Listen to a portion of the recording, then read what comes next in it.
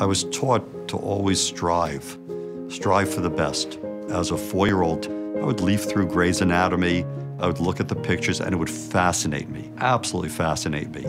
I had no idea what a neurosurgeon was, but this seemed to be really, really cool.